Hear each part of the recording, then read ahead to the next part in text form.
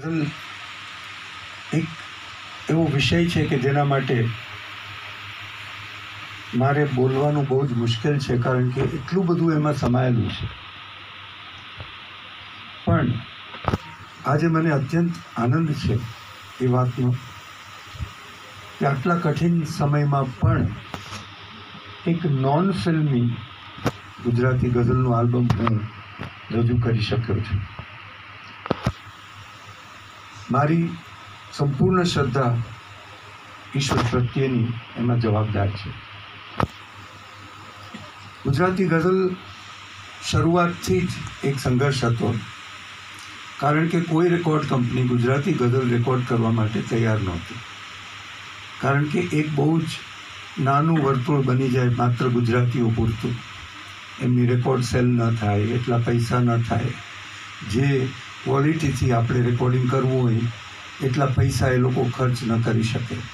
પણ all the way મારું એવું માનવાનું છે કે આ કદાચ મારા જીવનમાં ઈશ્વરનો સંકેત હતો.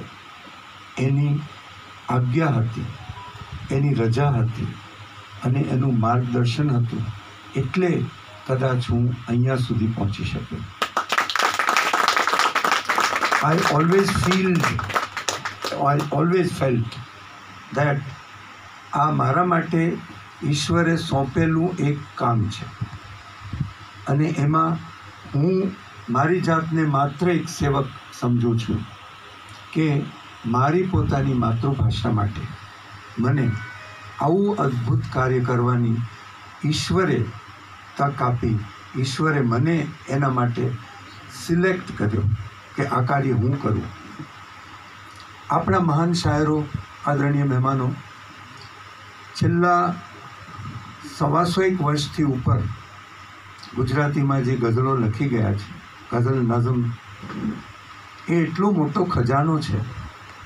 અને એક સમય એવો હતો કે આ બધી ગઝલો માત્ર પુસ્તકમાં હતી, જે એના વાંચનારાઓ માત્ર વાંચતા હતા અને આનંદ લેતા હતા. એ ઉપરાંત એ સમયમાં મુશાયરાઓ થતા હતા. મુંબઈમાં, અમદાવાદમાં શાયરોના બહુ જ સુંદર મુશાયરાઓ થતા. એ મુશાયરાઓમાં જ્યારે હું જતો હતો મુંબઈમાં, ત્યારે આપણા જે મહાન લેજન્ડરી કવિઓ હતા, એ બધાની સાથે રૂબરૂ મુલાકાત થતી, એમની સાથે એક પર્સનલ સંબંધ બંધાઈ ગયો હતો. અને એ જે રીતે પ્રોગ્રામમાં રજૂ કરતા એમની રચનાઓ અને જે લોકો એને વધાવતા ત્યારે મને એમ થતું હતું કે આ કેટલું અદ્ભુત કાર્ય છે, આ કેટલી અદ્ભુત વસ્તુ છે, જે માત્ર એક મુશાયરા સુધી સીમિત છે, કે જ્યાં મુશાયરાઓમાં લોકો સાંભળે અને દાદા તો આને આપણે જો આ ઈશ્વરે જ વિચાર આપ્યો કે જો આને આપણે ગાઈએ અને લોકો સુધી પહોંચાડીએ તો આની કેટલી મોટી અસર થાય અને એ ઈશ્વરે એમાં મને આદેશ આપ્યો હું કરી શક્યો. આજે છત્રીસ આલ્બમ સુધી પહોંચી શક્યો છું. એ મારું બહુ મોટું સદભાગ્ય છે. મારી ગુજરાતી ભાષા માટે, મારા ગુજરાત માટે, મારા ગુજરાતીઓ માટે મને સખત ગર્વ છે. મને પોતાને ગર્વ છે કે હું ગુજરાતી છું. અને ગુજરાતી આપણા લોકો જ્યાં પણ છે, દુનિયાના કોઈ પણ ખૂણે હોય, પણ એ બધા ગુજરાતી ગઝલ સાંભળતા થયા છે. એ એક બહુ મોટી ઘટના છે મારા હિસાબે અને આજે આ છત્રીસમું આલ્બમની પણ એક બહુ મોટી કથા છે.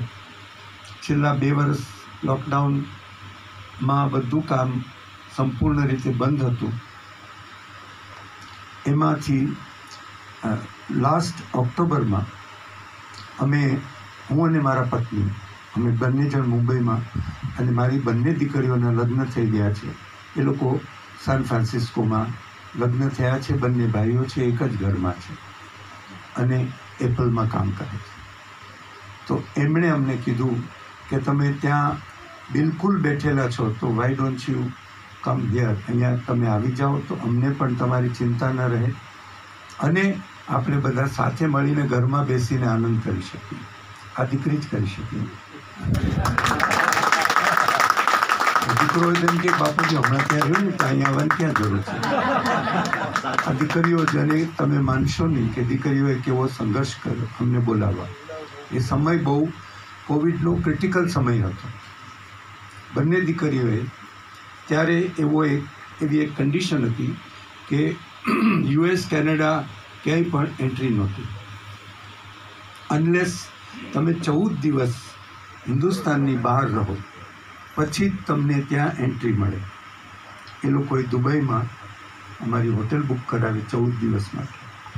અમને અહીંયાથી મુંબઈથી અમે દુબઈ ગયા, દુબઈમાં ચૌદ દિવસ રહ્યા. ત્યાં પણ આપણા ગુજરાતી લોકોનો પ્રેમ એક દિવસ પણ અમને ઘરમાં હોટલમાં બેસવા ન દીધા.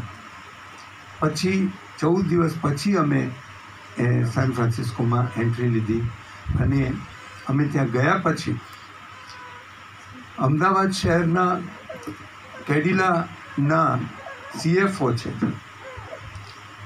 નીતિન પારેખ, એમણે મને મેસેજ મોકલાવ્યો કે મારી ગઝલો તમે પ્લીઝ રેકોર્ડ કરી આપો, મારી બહુ જ ઈચ્છા છે. પણ આપને કહી દઉં કે આટલા વર્ષોમાં પણ કોઈ પણ શાયરને કે કોઈ પણ રાઇટરને કે કોઈ પણ લખવાવાળાને મેં ફેવર કરીને ગઝલ રેકોર્ડ નથી કરી. કે ભાઈ આ આપણા મિત્ર છે એટલે એની ગઝલ આપણે કરીએ. કારણ કે મારું જે શ્રોતાગણ છે, એ મારી ગુણવત્તાને હંમેશા પારખે છે. એમાં હું ક્યાંય પણ કોમ્પ્રોમાઇઝ ન કરી શકું.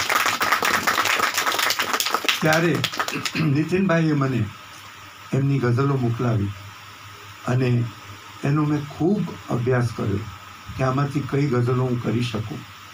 અંતે મને એવો આનંદ છે આજે કહેતા કે ભલે એ બિઝનેસમાં છે, પણ એ ઓરિજિનલી શાયર છે.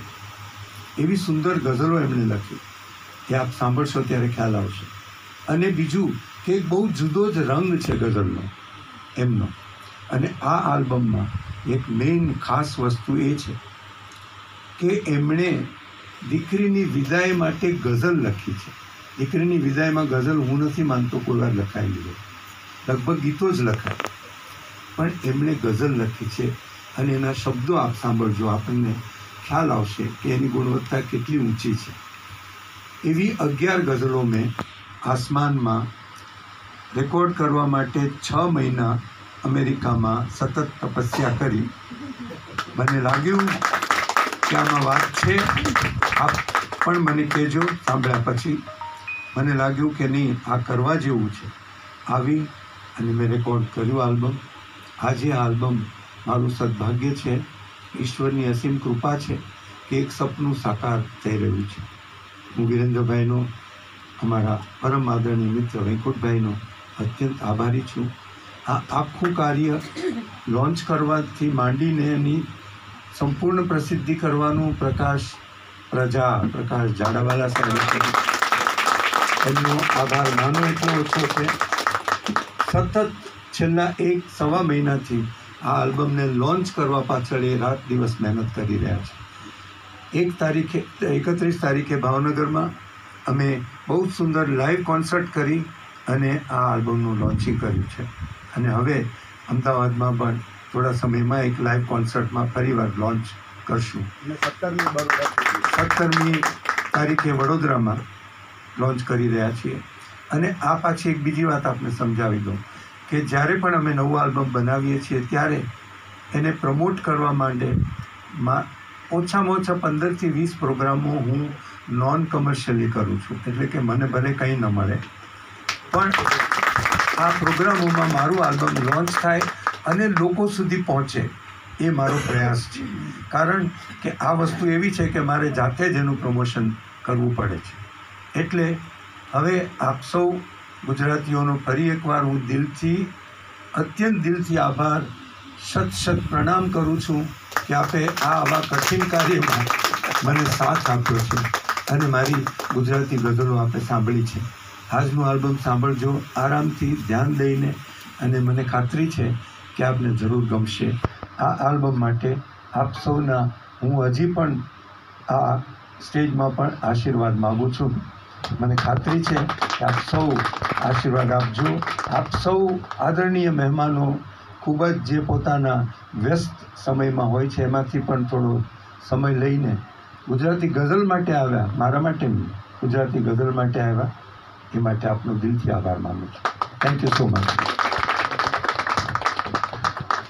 આદરણીય શ્રીમાન મોડલભાઈ ઉધા સાહેબ, આપનો ખૂબ ખૂબ આભાર. ઘણી બધી મહત્વની વાતો તેમણે જણાવી છે જે આપણે અત્યાર સુધી જાણતા નહોતા.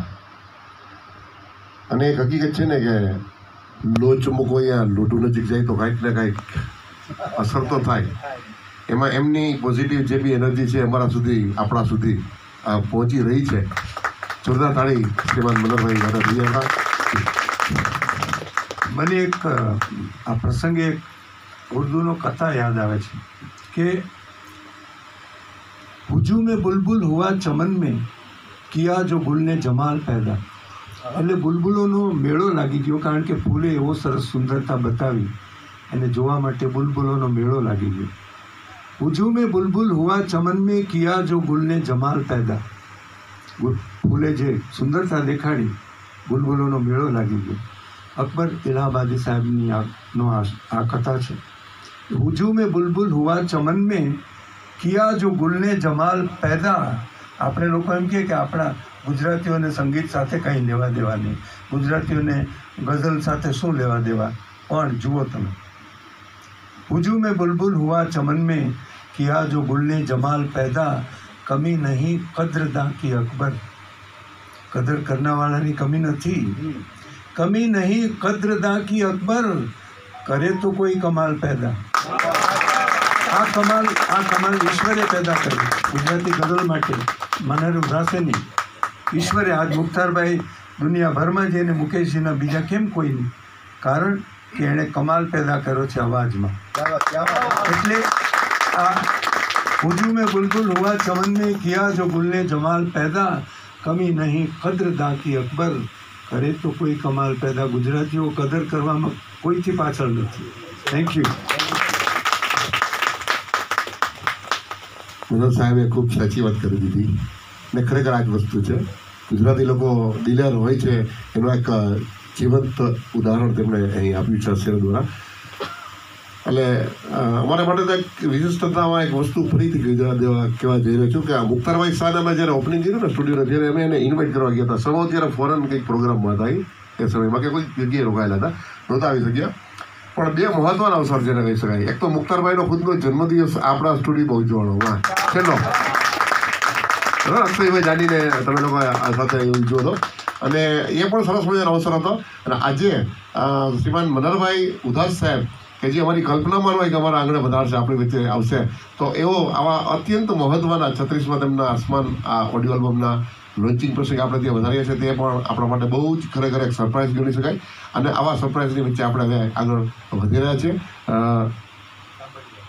સરસ મજાનો શ્રીમાન મનરભાઈ ઉદાસજીના કંઠે ગવાયેલા આલ્બમ, આસમાનનો કર્ણપ્રિય, સુંદર મજાના તેમના અવાજ સાથેનું નજરાણો. હું વિજયને વિનંતી કરીશ તેઓ શ્રી આ એક સરસ મજાની ગઝલોનો ગુલદસ્તો આપ સમક્ષ અહીં પ્રસ્તુત કરશે જી સર મારા બે બહુ જ મહત્ત્વના અને બહુ જ પ્રિય અને જે બહુ જ જરૂરી જેના વગર ન ચાલે એવા મારા વાદક કલાકારો અહીંયા ઉપસ્થિત છે આદરણીય કમલેશ ઝાલા સાહેબ જો વાયોલિનના ગુરુ છે વાયોલિનના ગુરુ છે સંગીતના ગુરુ છે દિગ્દર્શક છે મ્યુઝિક અરેન્જર છે, બધું કરે છે. એક અદ્ભુત સંગીતકાર અને બીજા યુવા કલાકાર સત્યમ પાટીવાલા જેઓ રિધમમાં ઓક્ટોપાઇડ બગાડે છે મારી સાથે. આઈ એમ ઓનર્ડ આઈ એમ બ્લેસ્ડ કે આવા સાથી કલાકારો મને મળ્યા. આજે આવ્યા છે. એમનો અત્યંત આભાર માનું છું. તો હવે આવા કલાકાર મિત્રોની ઉપસ્થિતિમાં સરસ મજાનું આદરણીય સેવાન મનરભાઈ ઉદાસજી કંઠે ગવાયેલું આલ્બમ આપણે સાંભળીએ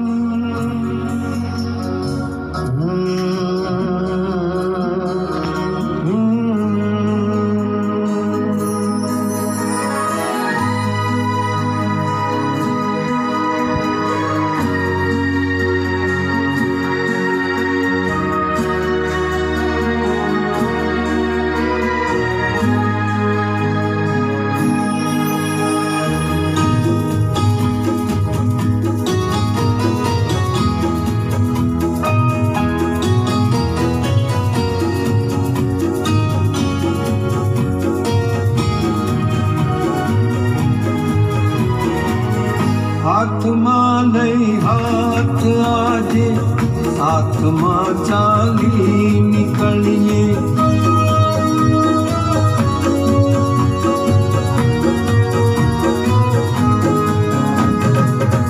હાથમાં નહીં, હાથ આજે. હાથમાં ચાલી નીકળીએ. ચાંદ જોવા દૂરના આકાશમાં. ચાલી નીકળીએ. હાથમાં નહીં હાથ આજે હાથમાં ચાલી નીકળીએ.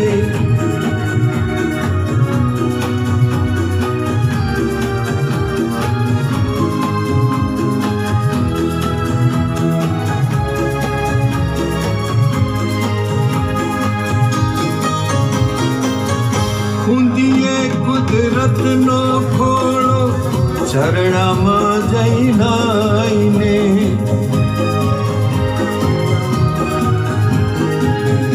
ઊંધિયે કુદરતનો ખોળો શરણ